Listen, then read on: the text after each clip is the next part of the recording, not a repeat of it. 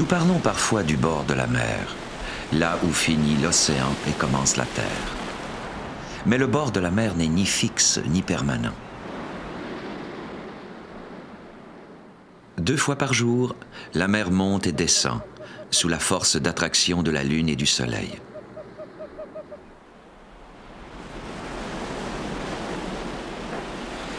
La zone intertidale est ce terrain que viennent couvrir et découvrir les plus hautes et les plus basses marées. Même s'il s'agit d'un environnement où la vie est difficile, la zone de marée demeure un lieu d'abondance.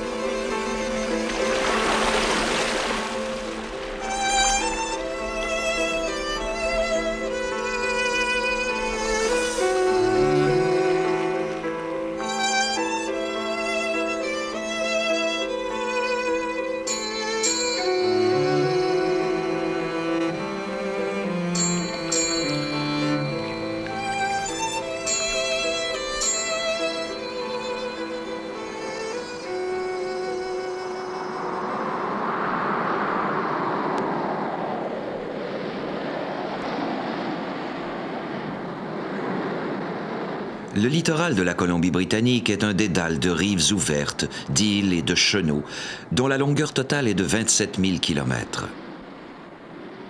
Ce rivage est principalement formé de rochers abrupts et les otaries sont à peu près les seuls grands animaux à s'y aventurer.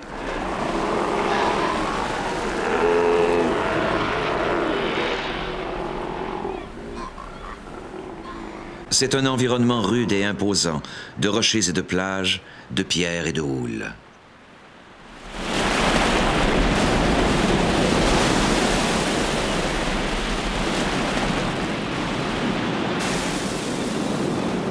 Pour survivre, les animaux et les plantes ont dû s'adapter de façon à supporter le violent battage de la houle.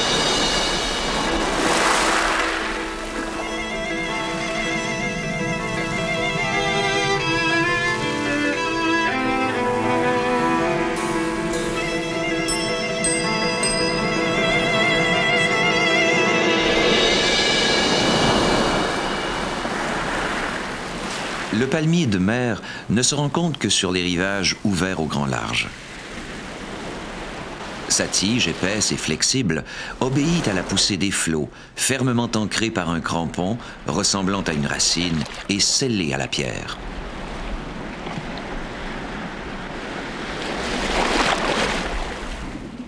Les oursins violets coincent leur corps dans des crevasses. Quand la pierre est moins dure, ils utilisent leur piquant pour en arracher lentement de petits fragments et s'y creuser de profonds abris.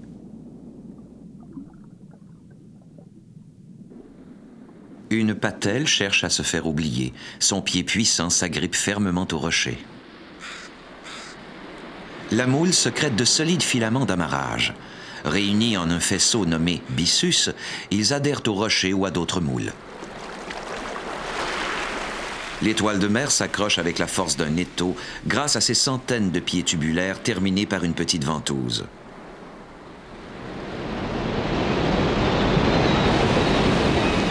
Malgré les dangereuses agitations de la houle, les zones de marée sont des environnements extrêmement riches. La lumière solaire y abonde, tout comme l'oxygène. Chaque vague jette au rivage une quantité surprenante de nourriture. Dans l'eau de mer dérive un nombre incalculable de plantes et d'animaux, le plancton.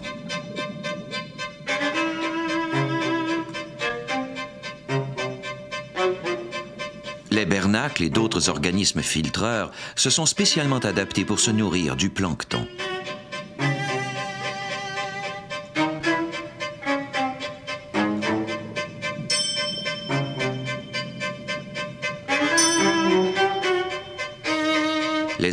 Végétaux microscopiques, formant le phytoplancton, recueillent l'énergie du soleil. Le zooplancton est constitué de tout petits animaux qui se nourrissent de phytoplancton ou d'autres organismes du zooplancton. Une bonne part du zooplancton est en fait composée des larves des animaux vivant sur les fonds marins tels que les crabes, les moules ou les oursins. Pour se reproduire, bien des animaux relâchent leurs œufs et leurs spermatozoïdes directement dans la mer. Les millions de spermatozoïdes d'un oursin vont ainsi nager dans l'eau jusqu'à ce que le hasard leur fasse rencontrer des œufs. Après la fécondation, les larves s'intègrent au plancton pour s'y développer. Seulement une infime partie de ces millions de nouveaux-nés atteindra l'âge adulte.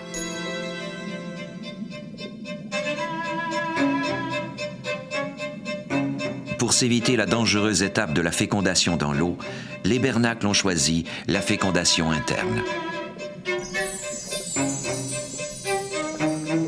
On trouve aussi dans le zooplancton des animaux adultes qui passent toute leur vie à dériver aux caprices des courants océaniques. En frappant les cils ambulatoires d'une sténophore, la lumière se décompose pour donner ce déploiement spectral très coloré.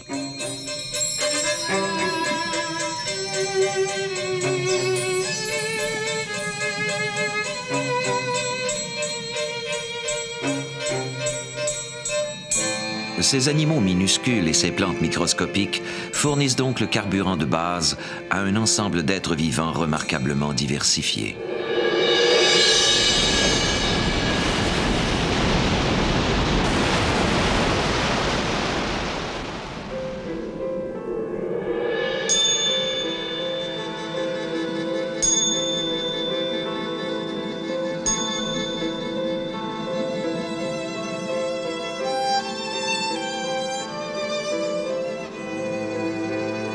La marée montante apporte de la nourriture et renouvelle l'eau de mer dans toute la zone intertidale. Pour la majorité de ses habitants, il s'agit d'une période d'intense activité. Le varech est formé de simples variétés d'algues rouges, vertes et brunes. En eau peu profonde, il pousse directement sur le roc, vivant de soleil et d'eau de mer.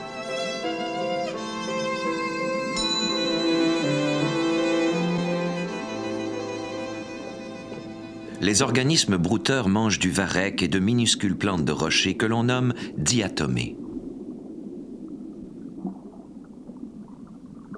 Les gastéropodes marins et les patelles se déplacent en rampant. Ils râpent leur chemin à l'aide de pièces buccales ressemblant à une lime. Un ormeau se nourrit de diatomées ou d'algues plus grandes. Les oursins retiennent le varech qui passe à leur portée et l'entraînent vers leur bouche située sur la face inférieure. Des morceaux de plantes et d'animaux morts ou en décomposition forment ce que l'on appelle les déchets, une autre importante source de nourriture. Les animaux vidangeurs tels que ce ver marin attendent que des matières en décomposition leur soient rejetées par les courants. Des déchets microscopiques sont transportés le long de chacun des tentacules filamenteux du ver marin jusqu'à sa bouche, au centre. Le concombre de mer retient des morceaux plus gros grâce à ses tentacules collants qu'il insère ensuite dans sa bouche pour les lécher avec le plus grand soin. Les bactéries croissent et se multiplient dans le voisinage des tissus en décomposition. Elles sont essentielles à la vie dans la zone de marée, car elles remettent dans la chaîne alimentaire des éléments nutritifs qui en avaient été retirés.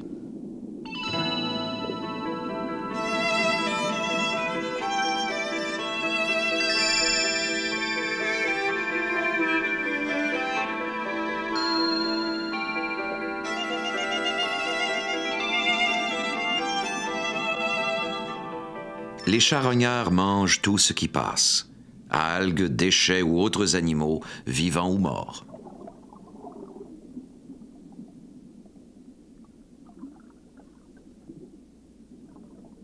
Les prédateurs, par contre, sont plus sélectifs dans leur alimentation. Les moules sont des proies faciles pour l'étoile de mer commune. S'aidant de ses pieds tubulaires, l'étoile de mer en trouve légèrement la coquille de la moule et force son estomac à l'intérieur. Le mollusque est alors entièrement digéré à l'intérieur de sa propre coquille. Manger, puis être mangé à son tour. S'enfuir, c'est retarder la mort et augmenter les chances de se reproduire.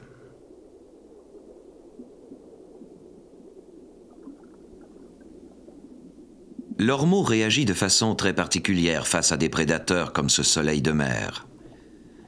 Même s'il peut lui échapper, L'ormeau est génétiquement programmé pour libérer sur le champ ses spermatozoïdes et tenter d'assurer ainsi la survie de l'espèce. À marée haute, la mer amène de loin de nouveaux prédateurs.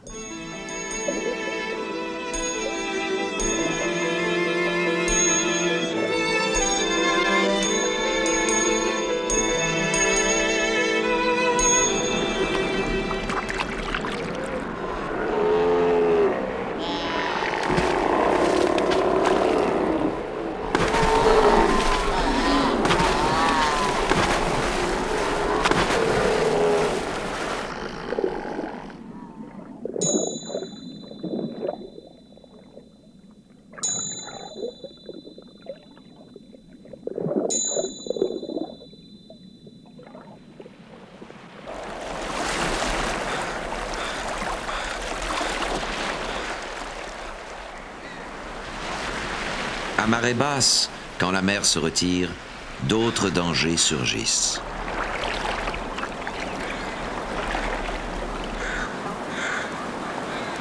Comment survivre sans trop s'échauffer ni se dessécher?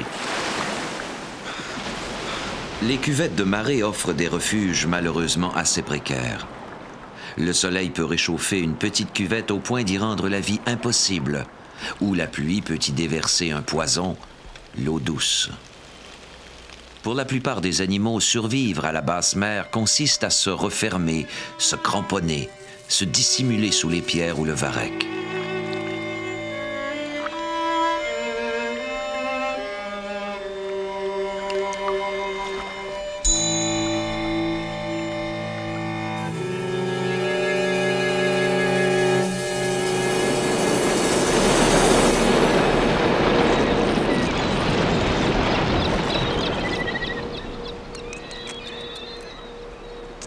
Marée basse découvre le littoral, les oiseaux de rivage et les goélands viennent y fourrager.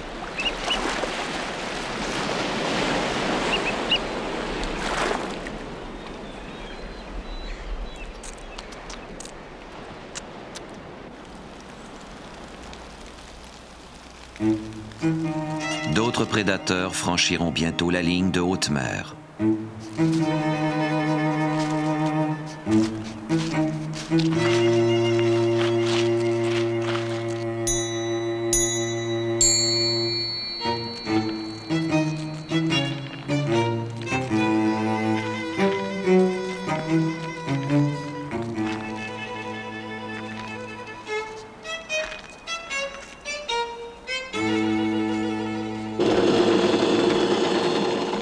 Aussi joue un rôle dans la chaîne alimentaire de la zone de marée.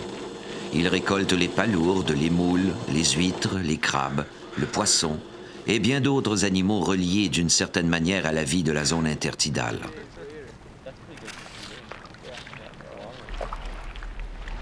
Les succulentes protéines des organismes filtreurs sont parmi nos aliments de prédilection.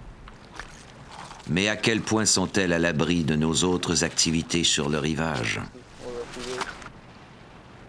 En un jour, une moule du littoral peut faire passer un millier de litres d'eau dans sa coquille.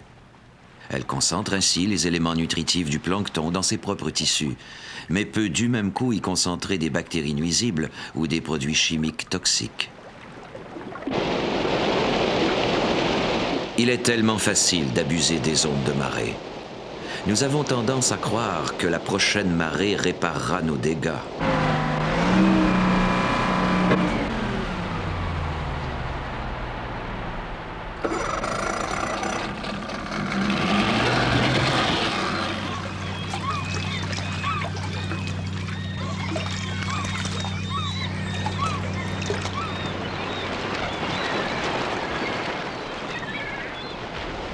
Certains êtres vivants se sont adaptés remarquablement aux conditions difficiles de la zone intertidale, mais n'en demeurent pas moins vulnérables face à l'intrusion de l'homme. Dans cette zone dynamique où la terre et la mer se côtoient, l'avenir nous dira si nous avons su agir avec assez de prudence.